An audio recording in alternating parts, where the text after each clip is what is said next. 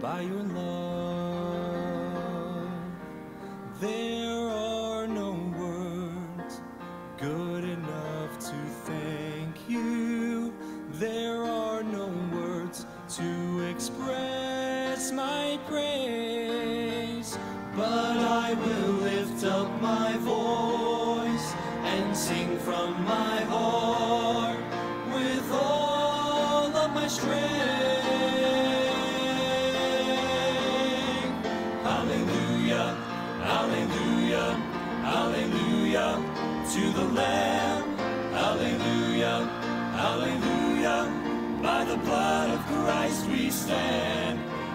tongue, every tribe.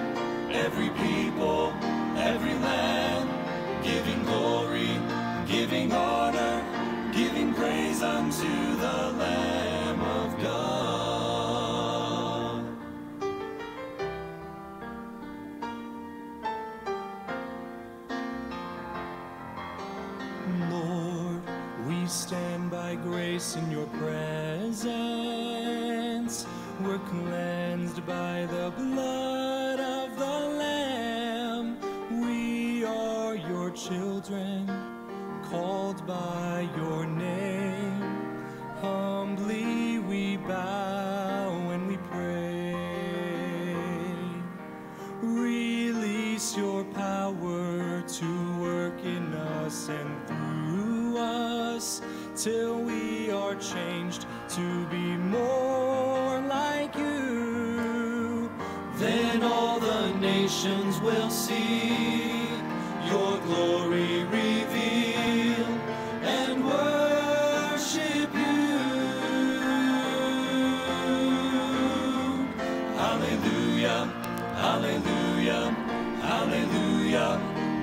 Lamb.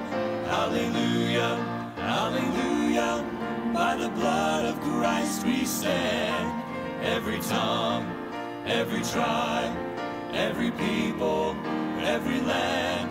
Giving glory, giving honor, giving praise unto the Lamb of God.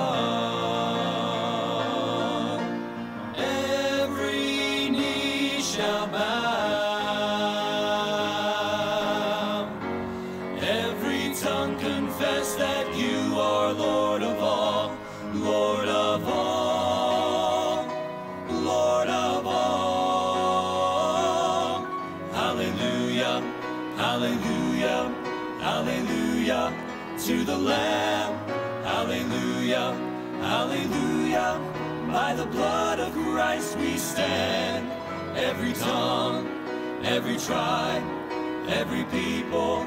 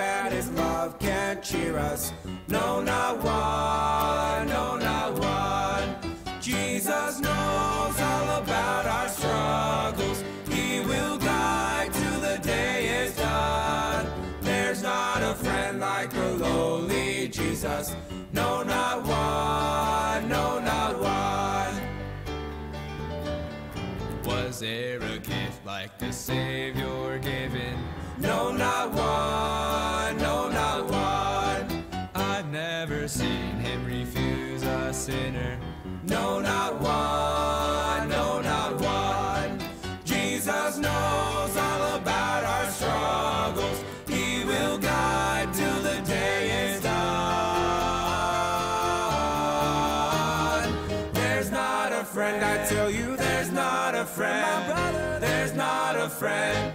No, not one. I tell you, no, not one.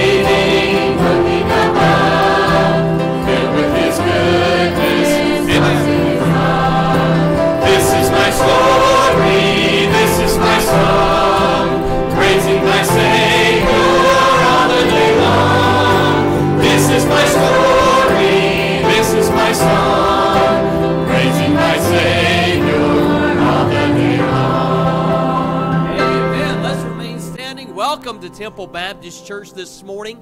We are so honored that you're here with us today to worship the Lord. And that's exactly what we've came and assembled together to do, to worship the Lord, for he's worthy, isn't he? And it's so good to see each one. What a great and beautiful morning it is uh, to come and be in the house of God this morning. And I've been so encouraged already on the campus this morning with our class. And uh, I, we're, we're working hard even at my age, at 37, to invest in the next generation. And I uh, had one of our young men teach for uh, my Sunday school class this morning, did a phenomenal job, and then walked in here this morning. And it's so good to see uh, returning families back with us from our uh, Friend and Family Sunday. Thank you for being back. It's one, to ha- one thing to have first time visitors, uh, but it's quite another when they return. And it's so good to see you back with us this morning. Great spirit, great crowd, and to God be the glory. Let's pray together uh, for God's blessings this morning upon our service. And uh, I tell you what, let's do this. We did this some time ago, and let's do it again. Uh, I would like to have all of our men come around the altar. And of course, you don't have to uh, if you don't want to. And uh, but I would encourage uh, our men that are able and that would like to, even in the choir, to come down and to pray for the service and God's blessings upon the service. I believe this with all my heart that if you uh, seek the Lord, God will bless. And so let's uh, come together. As the men are coming, I want to uh, give you several different prayer requests. Uh, continue to pray for Charles Poteet. It's good to see Miss Vicky this morning. Continue to pray for Charles, though, and uh, that God would continue to help him with his cancer treatments. Miss Dot Adams, it is so good to see her, and you pray for her, and uh, she'll be taking cancer treat- treatments again soon. And so, really pray for her with that. And then also, I want you to pray for Brady Davis. Uh, that God would continue to help him there. Chad Allen, continue to pray for him.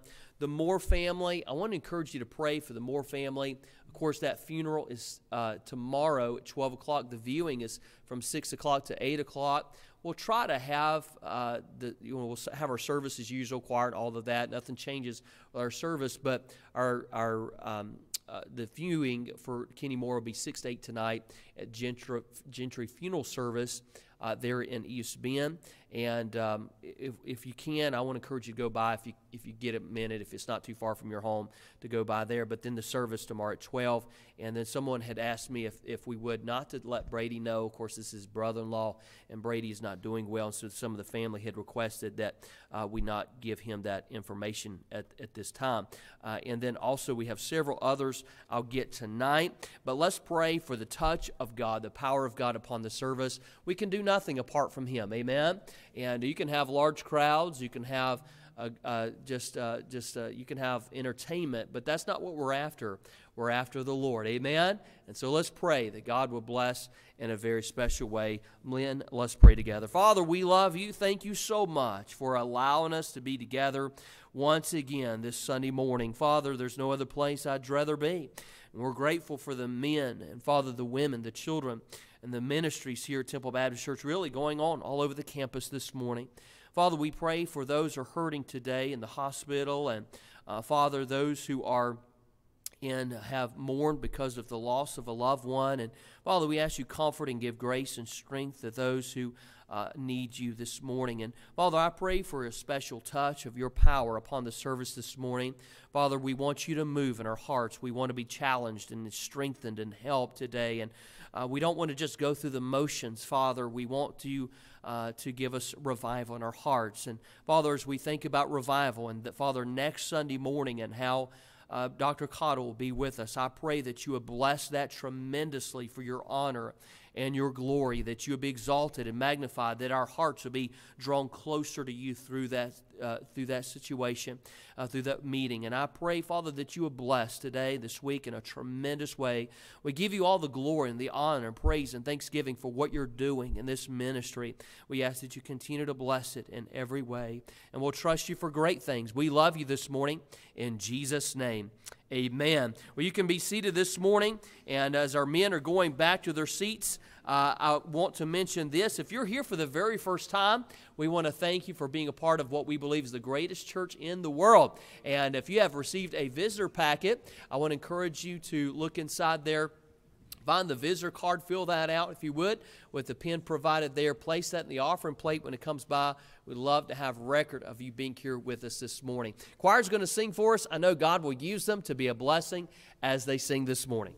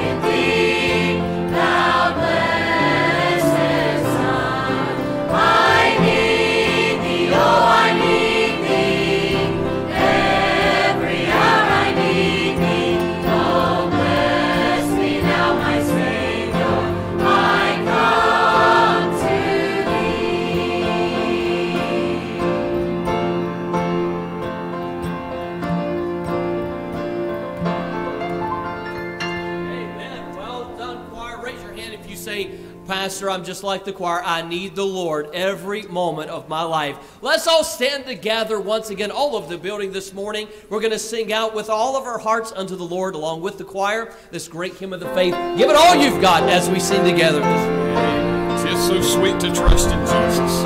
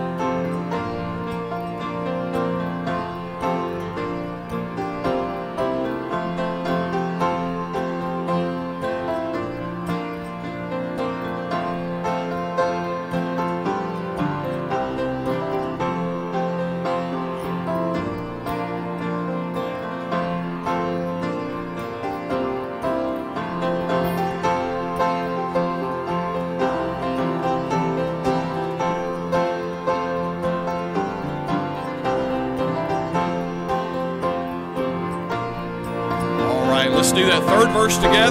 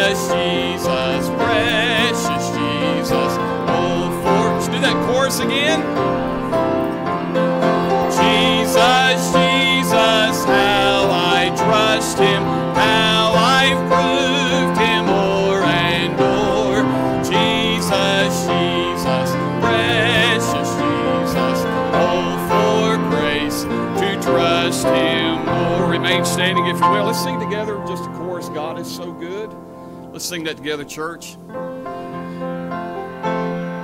Let's sing together. God is so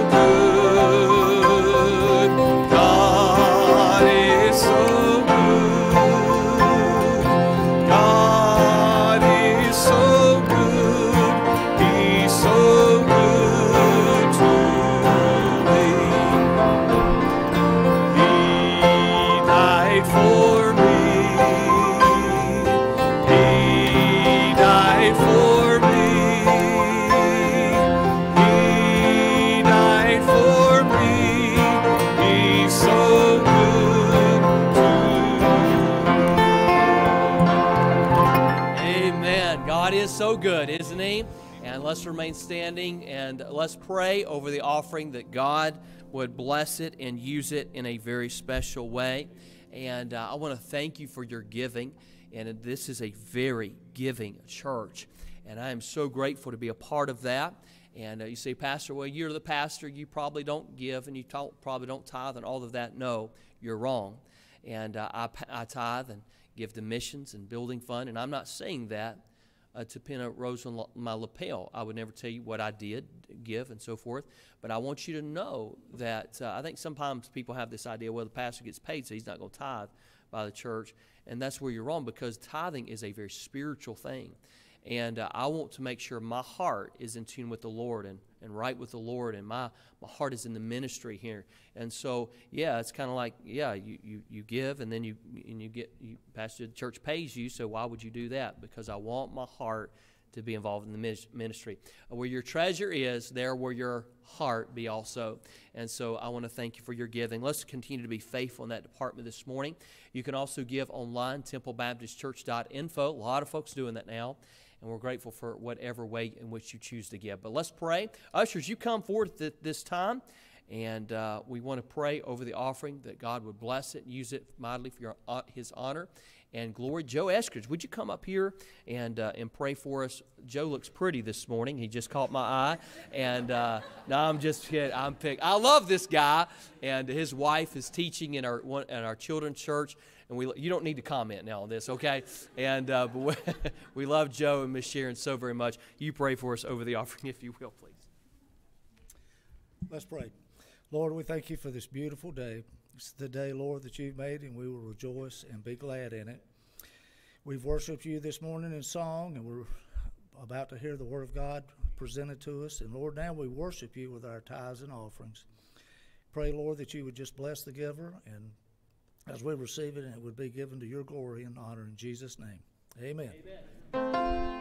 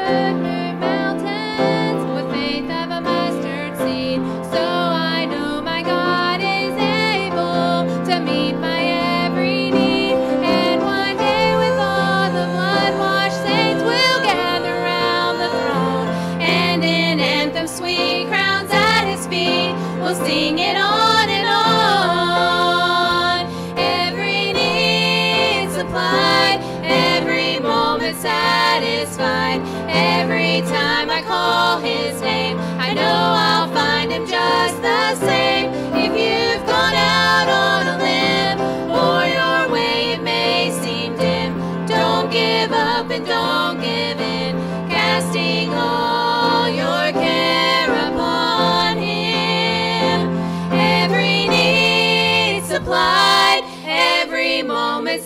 Satisfied. Every time I call his name, I know I'll find him just the same. If you've gone out on a limb, or your way it may seem dim, don't give up and don't give in,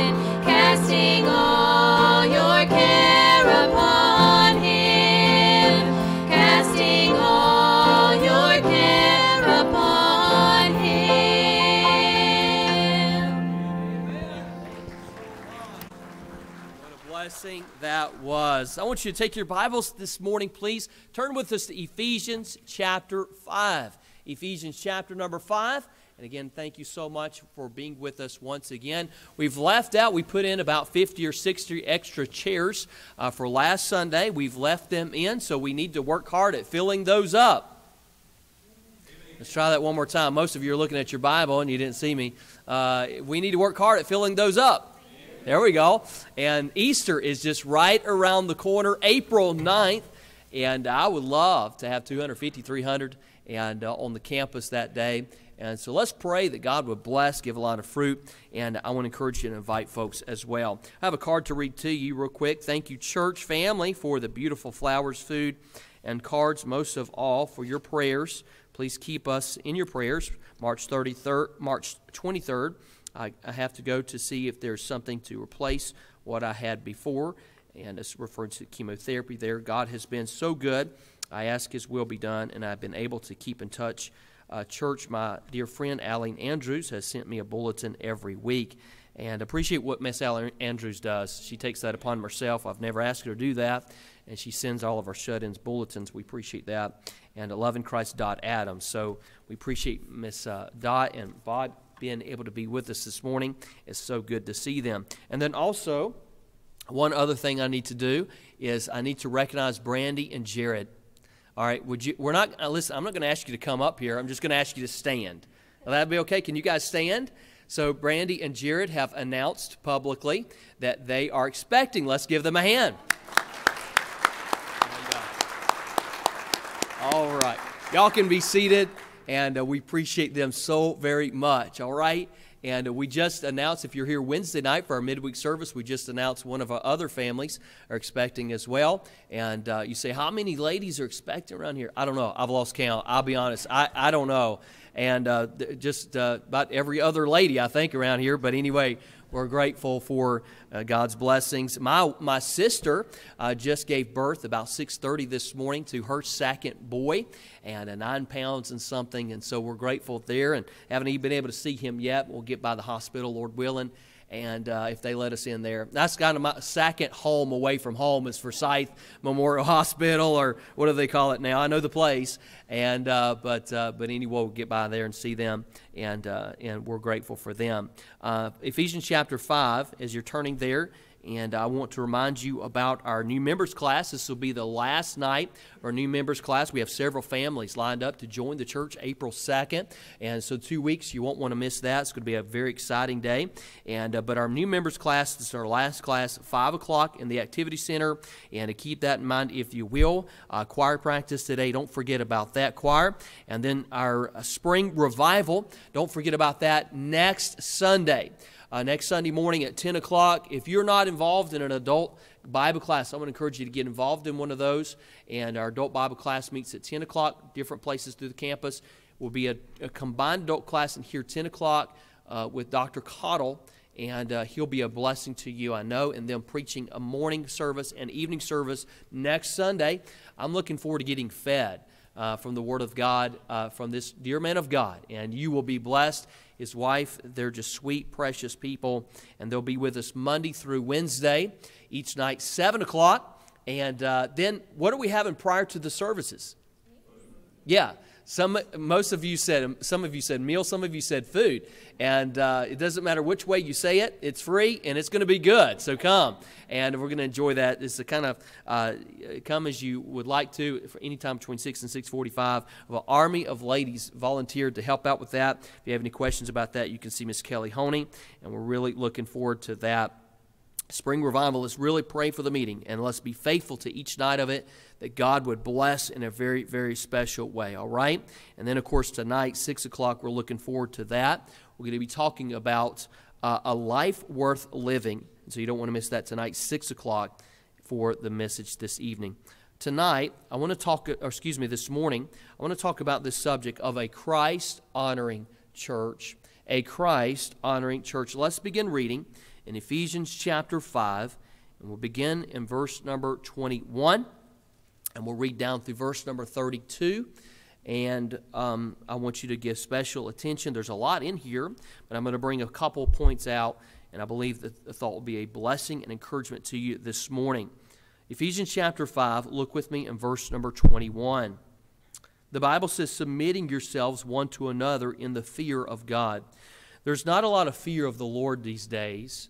And uh, if there was, there wouldn't be a lot of things uh, wrong, sinful things happening in the world today. And we've lost that. And There needs to be a fear of God. And the church is to spearhead that, right?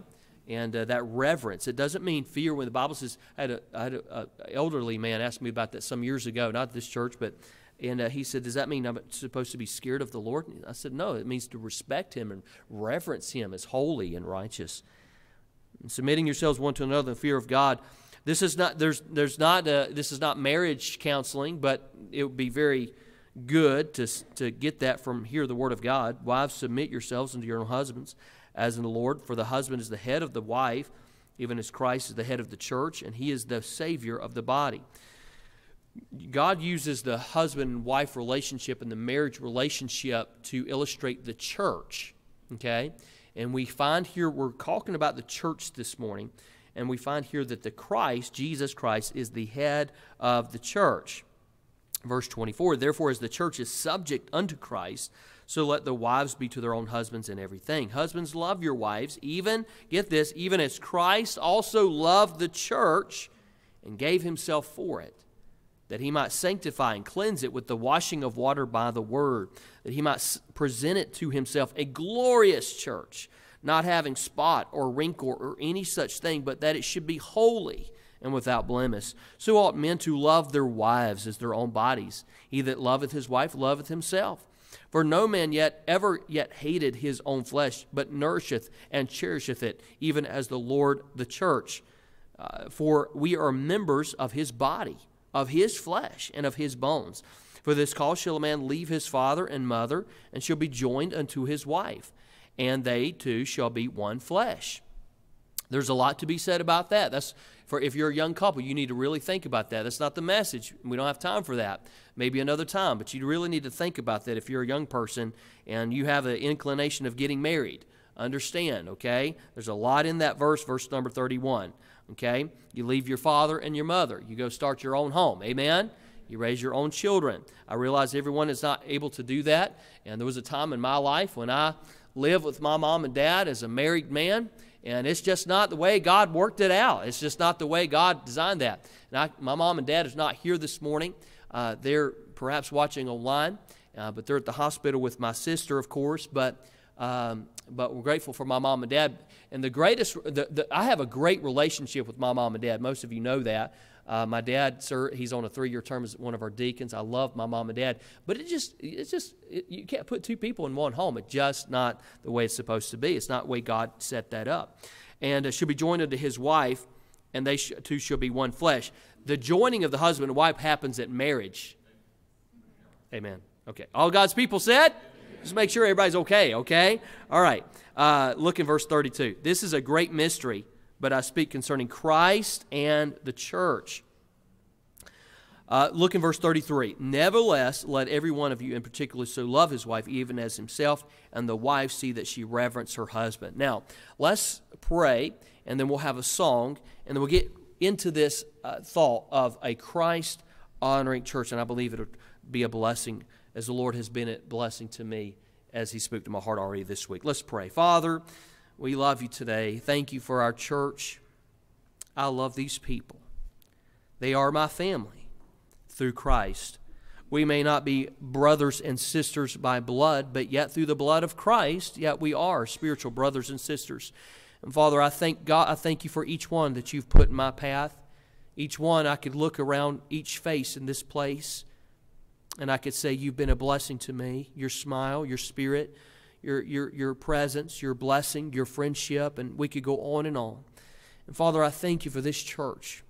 I think I look back over just the last couple of years, and I think back and just two or three years ago we had hardly any children, and now we're trying to figure out where to put them all. You've been so good to us.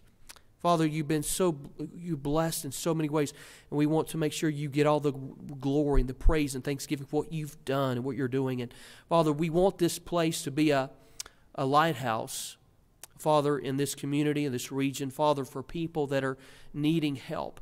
We want it to be, in, in, in one sense, a hospital for people that need strength and need help. And Father, we also, in one sense, want it to be an army camp of soldiers of godly men and women who are standing for the cause of Christ. Father, I pray that you would use me for just a few moments to be a blessing to your people. You know my heart. I so desire to be a blessing. And I pray that uh, you would help us to uh, be hungry for your word this morning. And Father, if there's someone that's not saved, may they trust Christ as their Savior this morning. And Father, if they are people here, that uh, those of us who are saved, may we uh, receive your word, implement it, apply it and grow spiritually. Thank you for the song now that we're about to hear. I pray that you would be honored and glorified through it and the message to follow in Jesus' name. Amen.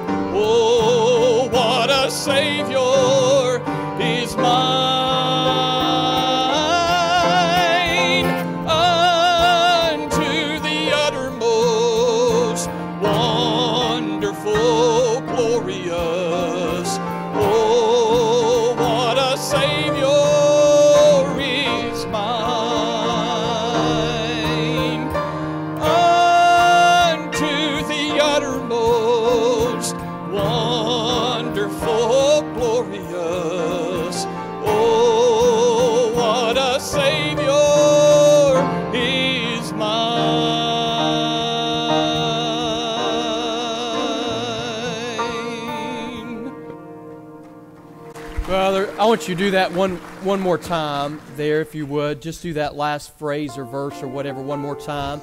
Raise your hand if you're thankful that you've got a great Savior. I'm grateful. You know, that's what we came here this morning to, to worship Him. I want you to think about what He's singing. Worship along from your heart.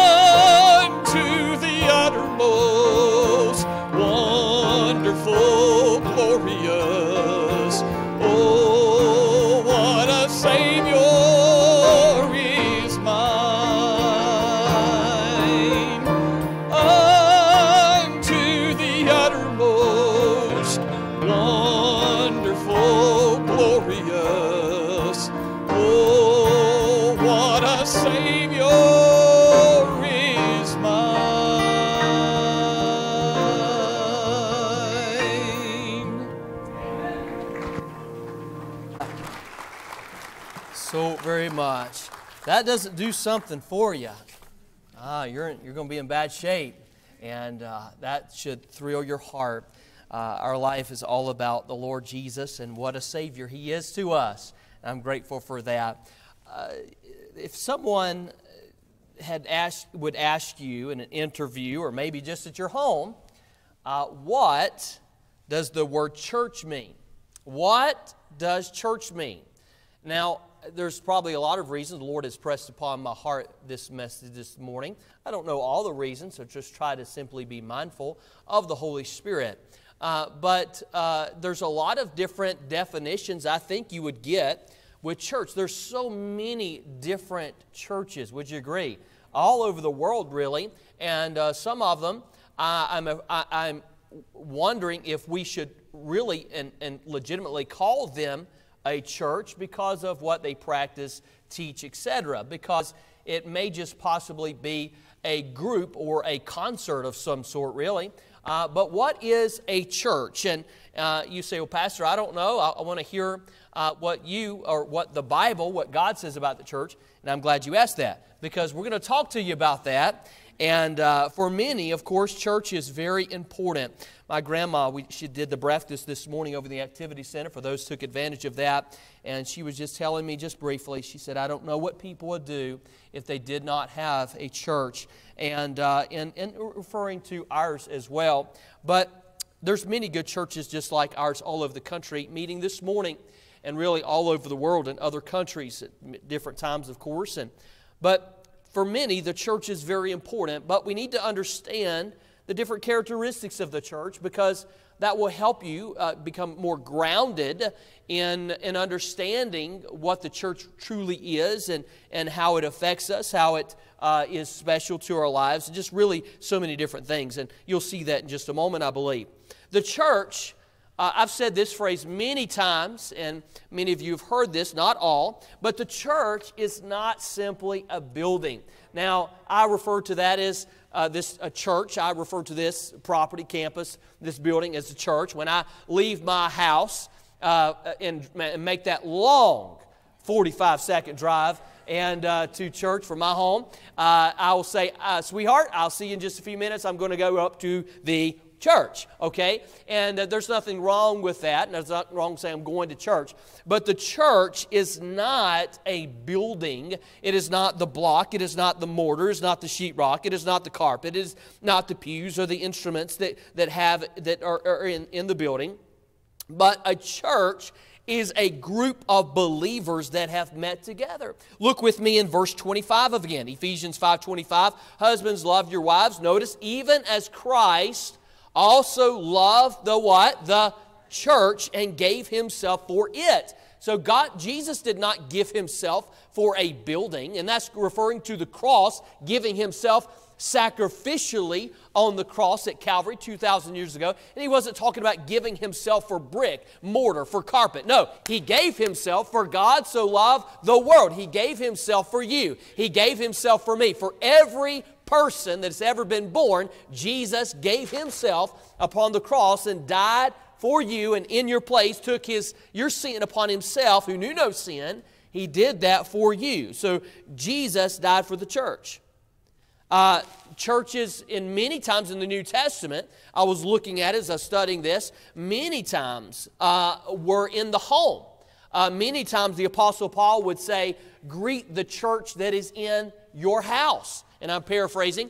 Many churches, and someone, if I'm not mistaken, told me that this church, Temple Baptist, back in the uh, perhaps I think the 60s, was established perhaps even in a home. And many churches established in a home. Now, all churches are not the same. Uh, just because it has the name church doesn't mean that that particular assembly, number one, is even saved. Uh, we, are, we are getting, we're, we're seeing prophecy fulfilled in, in this day and age which we're living in, where there is a, a, a, a turning away from the truth and, uh, and, and having itching ears, in other words, just hearing what makes me feel good and makes me feel confident in myself. And there, that is so contrary to Scripture and to what God instituted the church for. Uh, that is not what it's about, but we're in that age. So a church, a Christ honoring church, is, is a group of believers that are meet together and it is following Scripture. So a church is not just a building, and it's not just a, a group of people that are saying, quote unquote, we're going to worship. Uh, it needs to be scriptural. Would you agree with that? And I want to be a part, and thank God I am, get to be every service and uh, to, uh, most every service, and uh, get to be a part of Temple Baptist Church, which I believe is a Christ honoring church. And so, but I just want to reinforce some things we believe from the Word of God. This is not from our bylaws, this is not from Pastor Boles. Uh, my wife didn't even insert this in the message. It's just simply from the Word of God. No, uh, let's look at a couple things what a Christ honoring church is. Number one, if you're taking notes, I want you to notice uh, in this in this point or outline, whatever you want to call it, the purchase of the church. Look back with me again in verse 25, and we're going to emphasize the, the phrase where it says, and gave himself for it. Jesus gave everything. Jesus gave himself for the church, for you and I. Those who have received him as our personal Savior have been saved by his grace. Jesus purchased that church the book of Acts gives reference to the fact that Jesus has purchased the church with his precious blood, the precious blood of Christ. And so we understand that Jesus has purchased the church. He bought it with his blood. The Bible teaches us in the New Testaments that we are bought with a price. That price was the price that Jesus paid, his life that he uh, sacrificed for us at Calvary. So just like everything comes with the price, there's nothing free. Nothing, right? No, nothing. I mean, maybe, yeah, maybe a food sample at Sam's. Okay. But that is just, you understand, that's an enticement to buy the product. You understand? Okay. So there's a scheme behind that. They're just not giving you free stuff and hoping that because your well being, they're trying to make some money somewhere by giving you these samples. Nothing is free, hardly anything is free. And salvation is free to you and I, but it cost Jesus everything. Every. He cost him his life. He freely gave it. But he purchased the church. We are bought with the precious blood of Christ. Now, I want you to notice the second point, and that is the preciousness of the church.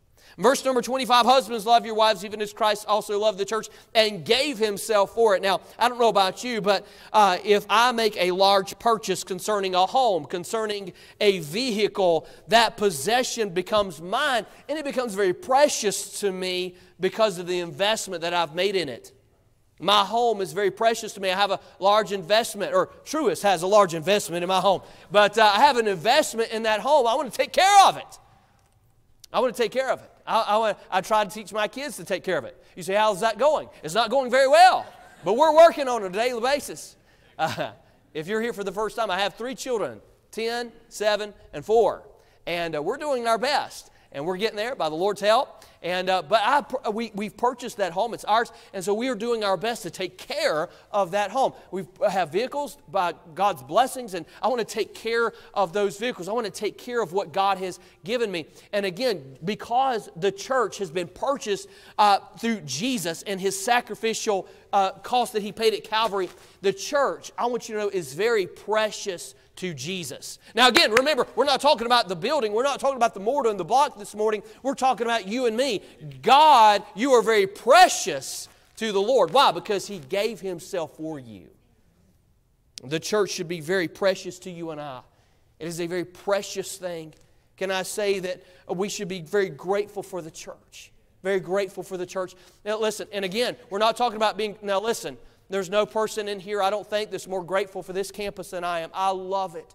God has blessed us, and I was thinking about a while ago, uh, God has blessed us in the last two, three years, been able to update, and remodel almost every single room in this, on this campus. And I'm grateful for that and uh, thank the Lord for that. And, and, but I'm not, and I'm so grateful for the campus. I'm thankful for the beautiful landscaping that Greg Wellerman does such a great job with. I'm thankful for just so many different, our cleaning staff, who, uh, Ms. Hanpoff, who keeps it so spotless around here. What a blessing. Uh, but I'm talking about the church. I'm talking about you and I. How much, how grateful we should be for one another grateful. I'm glad to be a part of a ministry that is grateful for one another. We should be gracious to one another. Again, we're talking about the church. We're talking about, uh, and, and of course, Temple Baptist Church. I'm, you know, you can narrow it down. In the book of Revelation, there's independent churches. Jesus Christ, in the first couple chapters of Revelation, chapters 2, 3, and 4, Jesus, or uh, excuse me, chapters 2 and 3, uh, Jesus uh, uh, uh, specifically recognizes the church at Thyatira, the church at Pergamos, the church at Laodicea, all these different individual, independent churches. They were independent, they had their own pastor, which is the messenger or the angel of that church, and Jesus addresses each one of these independent churches. And so I believe that we scripturally ought to be an independent church and go off solely off the authority of the Word of God. Amen. Uh, and so uh, we are grateful for that church, but we should be gracious uh, to the church. Now, again, we're not talking about being gracious to the property, we're talking about being gracious to one another, all throughout the Word of God.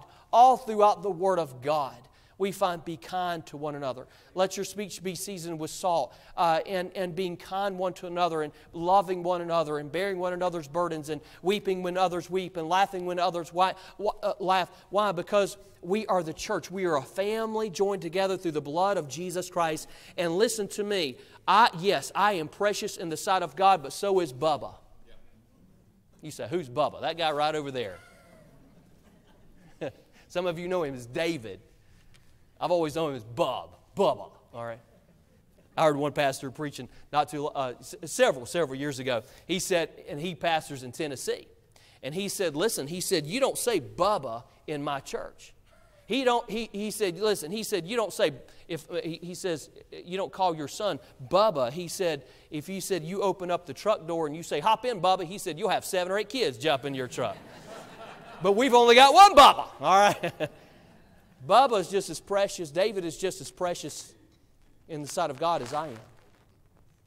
The Bible teaches us there's no respecter of persons with God. In other words, He doesn't respect Nikisha any more than He does my wife, and He doesn't respect. You say, wait a minute, your wife is the pastor's wife. Well, this friend, that's not an office of the church or position of leadership. She's my wife. And, and God, Nikisha, and I'm just using Nikisha as an example, Nikisha is just as precious to God as my wife. My wife is just as precious as Jan Lewis and, and Miss uh, uh, Chastity and Miss Martha Church and so many others. God is, we are so precious one to another, and we need to understand that. That God loves so and so just as much and equal as He loves me. We're to be gracious to one another. We should never take the church for granted. We're talking about the preciousness of the church in general, but really and specifically uh, Temple Baptist Church, it, it, we are to be grateful for it. We're to be gracious one to another, and we should never take it for granted. Listen, in China today, or yesterday, whenever the time change different, is different, of course. In China, they have to meet underground. When if we were to have a missionary from China, we wouldn't be able to air perhaps things on social media. We wouldn't be able to air our services live because of the, the government found out they could be in jeopardy of their lives. We're so blessed. Don't ever take the church for granted. Don't ever take the spirit of Christ like love of Temple Baptist Church for granted. You've heard preachers say it. It's not like this everywhere. We're so blessed. Don't take it for granted. Number three, quickly, not only the purchase of the church, the preciousness of the church, but number three, the power of the church. And I'm going to read to you, you can turn if you like, but in Acts chapter 2, 1 through 6, we find that the day of Pentecost came, and the day of Pentecost was a big day for the early church and says in verse 1 of chapter 2 of Acts, and when the day of Pentecost was full to come, they were all with one accord in one place. And suddenly there came a sound from heaven as a rushing mighty wind, and it filled all the house where they were sitting. And there appeared unto them cloven tongues like as of fire, and it set upon each of them. And they were all filled with the Holy Ghost and began to speak with other tongues as the Spirit gave them utterance. And there were dwelling in Jerusalem Jews, devout men out of every nation under heaven. Now, when this was noised abroad, the multitude came together were confounded because that every man heard them speak in his own language. We understand this was a specific time that God used the, the tongues in the early church, not for, not for today's ministry, but uh, for getting the church off the ground. It was brand new then, you understand. But I want you to understand and realize that the church was established prior to this. Jesus said in Matthew chapter 16, verse number 18, he said unto Peter, He said, Upon this rock I will build my church. I always like to uh, look at that and kind of picture that in my mind of Peter and Jesus talking, and Peter looking at Peter and pointing to himself and says to Peter, Thou art Peter, upon this rock I will build my church. And the gates of hell shall not prevail against it. The church was established by Jesus Christ.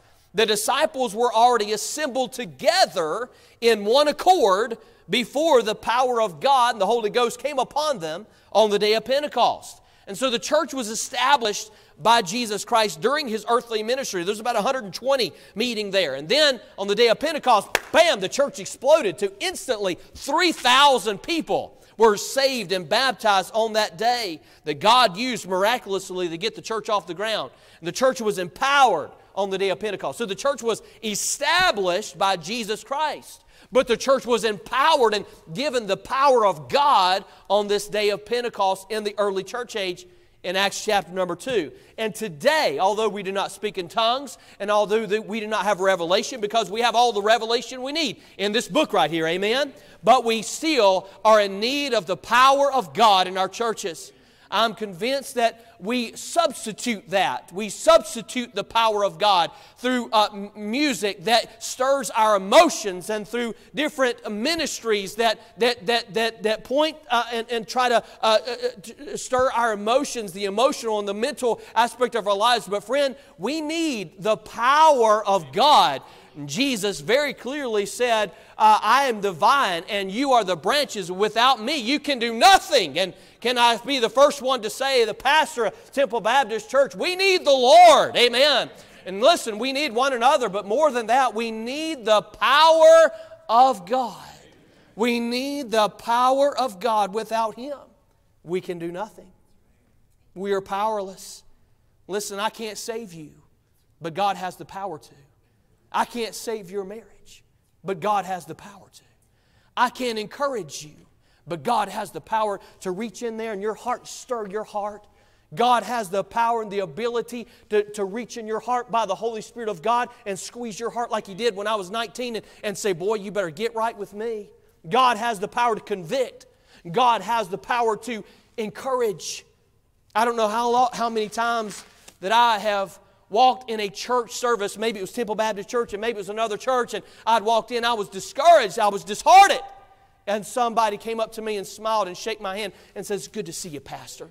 It's good to see you, Brother Boles. And wow, how that encouraged me so very much. But there's nothing that can replace the moving of the Holy Spirit of God when I've sat in a service and maybe a song like Brother Holly, and I'm so thankful that I, I, I sat down a couple weeks ago and taught him how to sing that song. and if you know my singing ability, you know that's, a, that's not quite true. And because I can't sing a lick. I've got kicked out of so many choirs, it's not even funny. But anyway, I'm joking, of course. But that song and, and how God uses that, not to stir my emotions, not to get me all jiggly and wiggly, but to stir my heart and to encourage me and to refocus my mind that this thing is about Jesus, it's not about me. We need the power of God to convict in our services. We need the power of God to challenge us to do more, not less. We need the power of God to comfort and, and also to conform us to the image of Jesus Christ. You understand that it is not in a man that Brother Caudill, when he comes to preach for us, listen, you're in for a treat. He is a man of God, and I guarantee he will be praying and seeking that God will use him and the power of God be upon him. But I assure you that Dr. Caudill cannot give revival as much as he desires it. And I promise you that Pastor Boles cannot stir you to revival, and I cannot make you witness to people, and I cannot make you live right. But listen, the power of God that works in our hearts and lives through services and through ministries and through His Word and through the songs that He uses can stir our hearts. Man, we need the power of God. It's present. We need that. Where two or three are gathered together in my name, there I'll be in the midst. The power of the church. Notice number four, the purity of the church. Some of you are thinking, I need to get out for lunch. You just need to forget about that right now. Number four, quickly, quickly. I'll, be, I'll hasten on. Number four, the purity of the church. Notice again verse 25 Husbands, love your wives, even as Christ also loved the church and gave himself for it, that he might sanctify and cleanse it with the washing of water by the word. You know how you're in a, you, you know how you know you're in a spiritual a church when you can read, Husbands, love your wives, and all the women don't say, Amen. You know you're in a spiritual church. God bless you, ladies. Verse 26, that he might sanctify. Listen to this. Verse 26, that he might sanctify and cleanse it with the washing of water by the word. Now, some may say that's talking about salvation, and I could understand that, but we're going to take this perspective up that it's referring to um, the fact that he's already purchased it and he's sanctified or separating it to more so to himself. That he might present it to himself a what kind of church? A glorious church, not having spot or wrinkle or any such thing, but that it should be holy and without blemish. The purity of the church is accomplished through two things. One, the purity of the church is accomplished through separation through separation. Again, again it says verse 27 that God is, or verse 26 and 27, he might sanctify it or to make it holy, to separate it from the world's philosophy and mindset of a lost man's viewpoint of life. To sanctify it, to cleanse it. He wants it to be a glorious church. He doesn't want it to have spots of sin. He wants it to be without wrinkles. He wants it to be holy and without blemish. It corresponds with the fact that He has called each one of us as Christian individuals to live a life that is holy, like unto Jesus. And the church is not to have contaminants of sin uh, of the world. Amongst the church, there should be a reverence. I'm reminded of Psalms 29 2 Give unto the Lord the glory due unto His name. Worship the Lord, get it in the beauty of holiness. In the beauty of holiness. We've lost that in this world that we're living in. We have so we have poured in the world's philosophy, music, style, and everything into this blender that we're also trying to pour in Bible principles. And we're trying to blend it together. And God said, uh uh-uh. uh. That's not what I've told you to do. I want the church to be set apart to be sanctified without spot of, of, of sin in a world that it, listen, if I act like a lost person and I have the same mindset and the viewpoints of a lost person, then how can others see Christ within my life? I realize we're not perfect, but we ought to strive to be holy like unto Jesus. And the, amongst the church, there should be a sense of reverence unto the Lord. This is a precious place. This is a place that Jesus has purchased with His own blood. It ought to be looked at with reverence. Amongst the church, there should be a sense of respect. Respect. Amongst the church, there should be a sense of representation. The fact that we represent the Lord Jesus Christ. The purity of the church, quickly, I'm hurrying. The purity of the church is not only accomplished through separation of the world, as we find in Ephesians 5 26 and 27, but the purity of the church is to be accomplished through Scripture. It says in verse 26 that he might sanctify and cleanse it with the washing of water by the Word of God. That the Word of God, it, when it's preached and taught and implemented and applied in a local church assembly like Temple Baptist Church, that is when it is honoring to the Lord. And God says, I want you to live by the Word of God, not just pulling things out. Uh, listen, when I sit in my office, I'm not sitting there and looking at and thinking, you know what, I really want to, you know, you know, kind of get popular here. I want to kind of get big. I believe God's blessing tremendously. We're grateful for that. But that, that is not the motive of the ministry. The ministry is to preach what Paul told Timothy preach the Word. Preach the Word and let God work in hearts and minds through that. Notice quickly, I've got to hurry. Number five. I've got another hour to go, but now I'm not going to keep you that long, okay? But number five, quickly, notice this the purpose of the church. If you want, you can turn to just one page over, Ephesians chapter 4. Verses number 11 through 16, we find the purpose of the church here outlined very clearly. The purpose of the church in verses 11 through 16 of Ephesians chapter 4, it's for the equipping of the saints. It says for the perfecting of the saints. You know, listen, I am to become more perfect and more like unto the Lord Jesus Christ. Not like to myself and not like somebody else, but become more like Christ. And the church is, uh, God has ordained pastors and, uh, and uh, apostles, of course, during that age, and prophets and evangelists and teachers. Why? To equip the saints to give us what we need to live a life that is Christ honoring. And another purpose of the church is to evangelize the lost. Listen, I think we ought to have a, a very strategic plan to reach the world with the gospel, don't you? We need to make sure that we're going to house to house as uh, the Bible teaches us, that Paul taught the others in his ministry, that we're to go from house to house to make sure that everyone hears the gospel of Jesus Christ, that no one is left out. And where does that strategic plan come from? It comes from the local church. And you say, Well, I have a burden for so and so, I have a burden for so and so. Great, wonderful. You're doing exactly what you should be doing. But let's have a strategic plan to make sure we get everybody.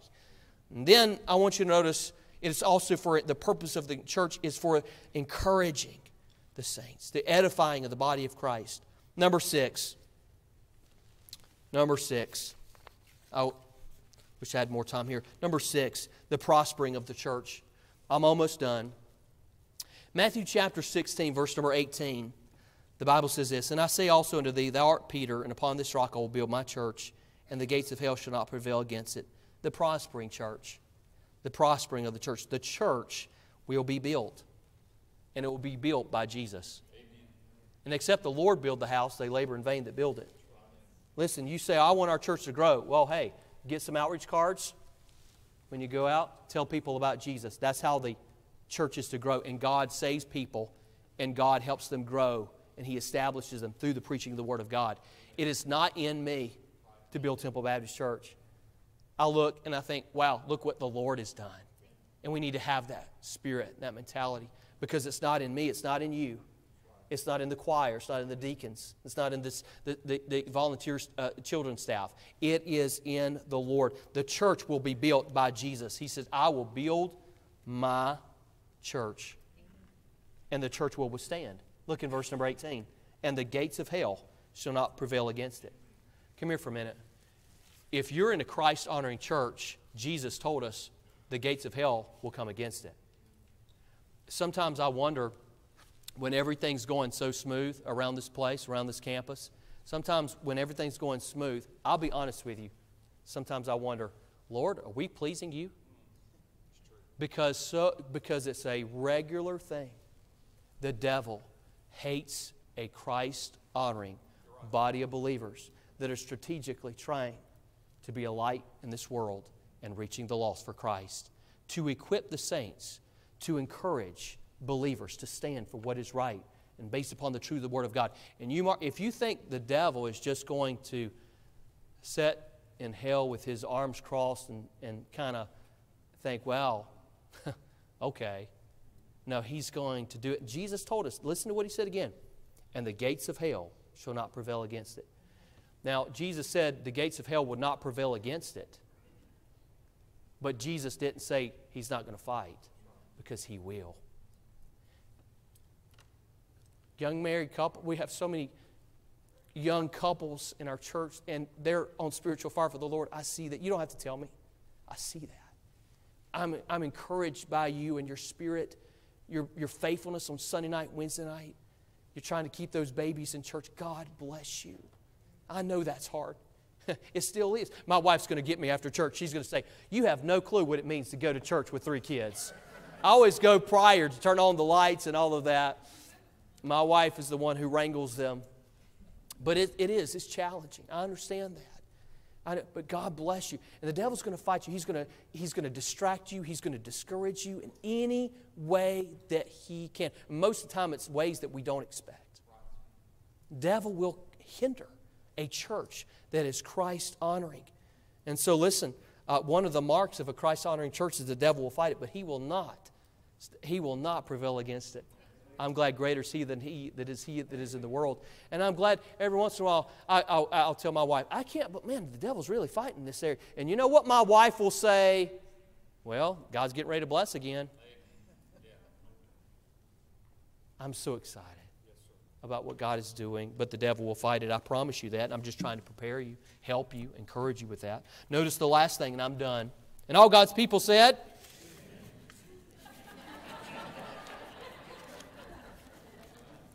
That's a trick. 40% of you failed right there. I still love you. Number seven. Number seven. The potential of the church. Now I'm going to leave you with this verse, Philippians 1:27.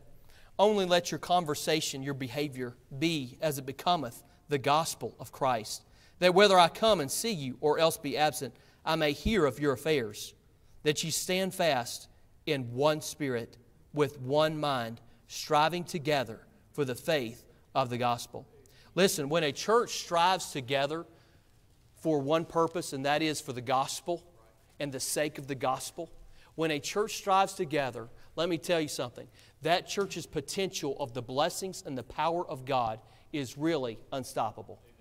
God can bless in so many ways when a church, and I'm so thankful. Listen, I am so grateful to be a part of Temple Baptist Church. Listen, I can't hardly stand it. I, I love this place. I love you so much.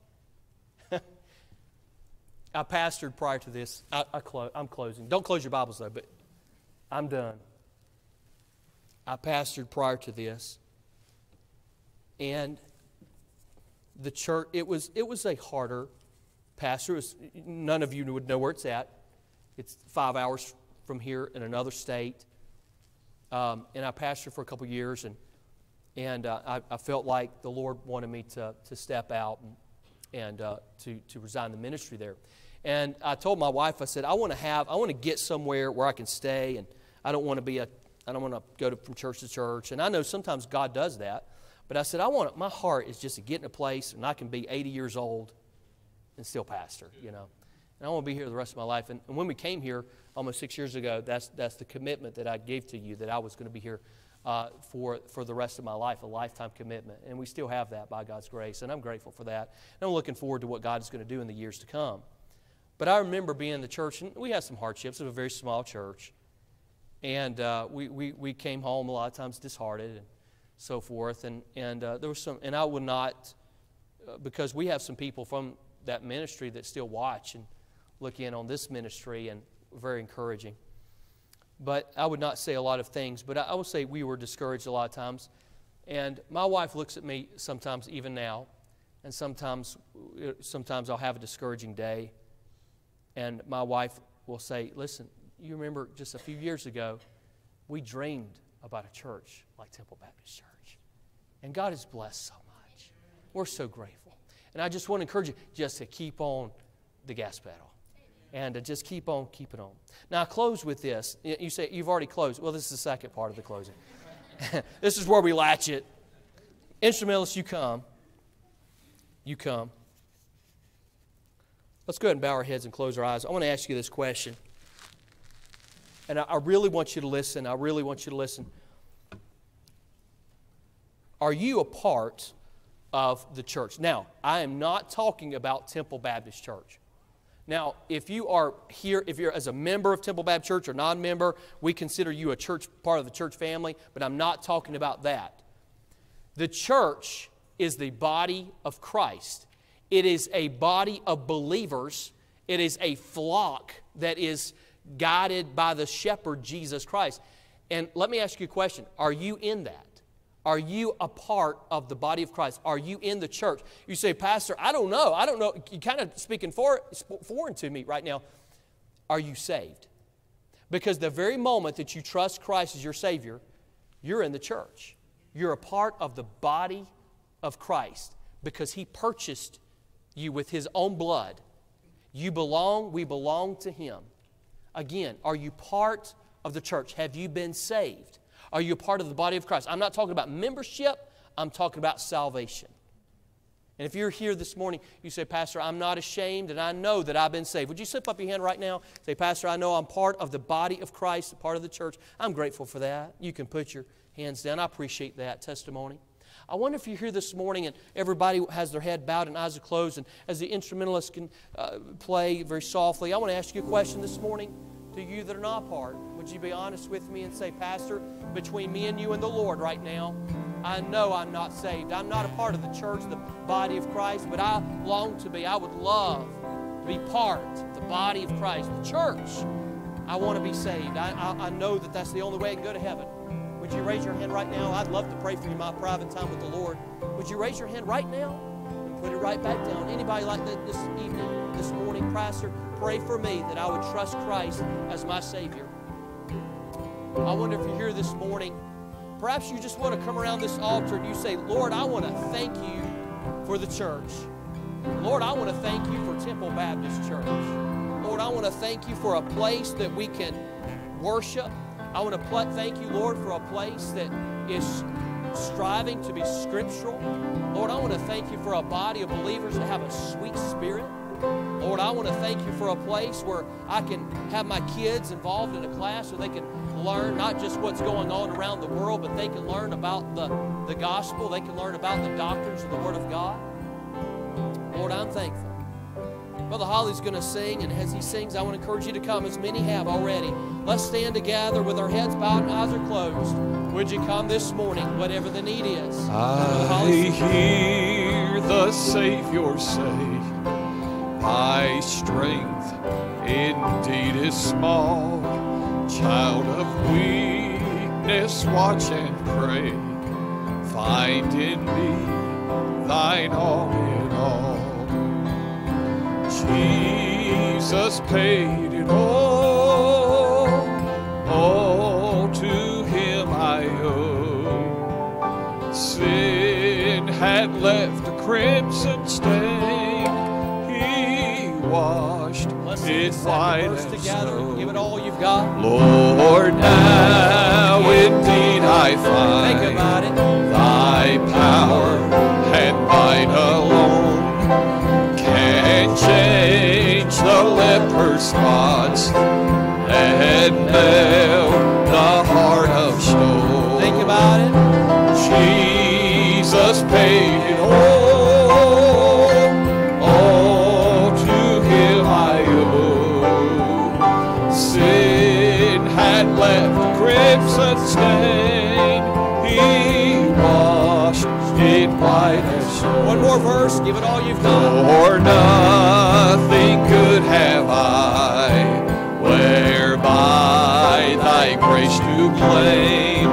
I'll wash my garments white in the blood of Calvary's Sing it all you got today on the chorus. Jesus paid it all. All to Him I owe. Sin had left crimson stain.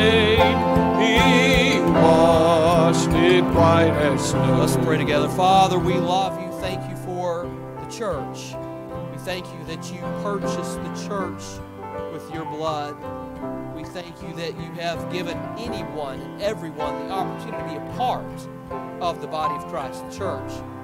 We're thankful for churches, assemblies like this one all across the world that I can't go be a part of a church in Nevada or California or New York, but I can be here. It's close to where I live. I thank you for setting that up like that. Thank you for giving us pastors, evangelists, and teachers, missionaries through the local church. And I pray that you continue to bless. We give you all the glory and thanksgiving for what you've done in this place. We ask you to continue to bless in a powerful way. Oh, we need you. We love you in Jesus' name. Amen. You can be seated this morning. I want to say uh, if you're here and you have a need in your life, if you need to be saved, if you need to talk to the need to talk to the pastor, the pastor's wife in any way, you know, we're always available, okay? So we want to make sure that you're aware of that. All right? We have a couple video announcements. Listen carefully. There's a lot going on, and so listen carefully and then we'll be dismissed this morning.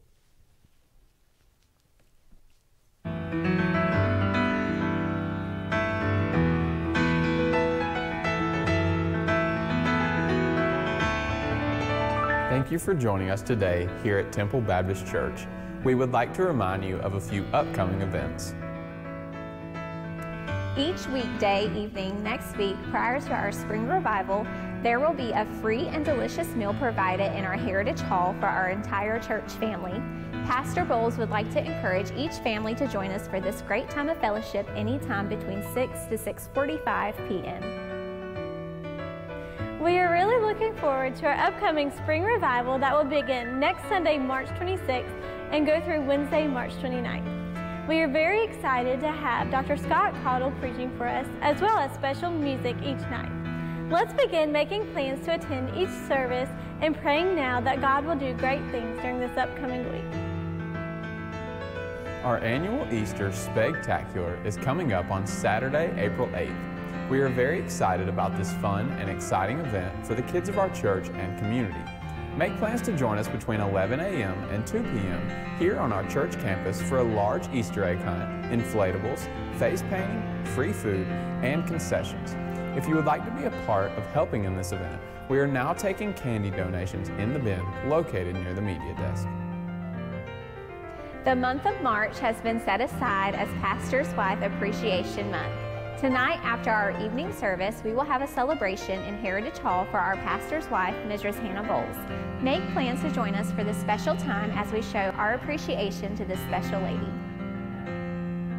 We are very excited about our upcoming Easter service on Sunday, April 9th at 11 a.m. Make plans to be with us for this special Sunday as we celebrate the resurrection of our Savior, Jesus Christ. Thank you once again for joining us today. We would like to invite each family to join us again this evening at 6 o'clock p.m. for special singing and a helpful message from God's Word. All right, let's all stand together once again. If you're glad you came to church this morning, would you say amen? I love you. God bless you. Thank you for being here. Don't forget about service tonight. Again, uh, new members class, 5 o'clock. Uh, keep that in mind if you will. And uh, choir practice, 5 o'clock as well. And, uh, and then again, service tonight, 6 o'clock. We'll be talking about a life worth living. Don't miss that uh, tonight out of the Gospel of Mark. All right? I love you. God bless you. You're dismissed.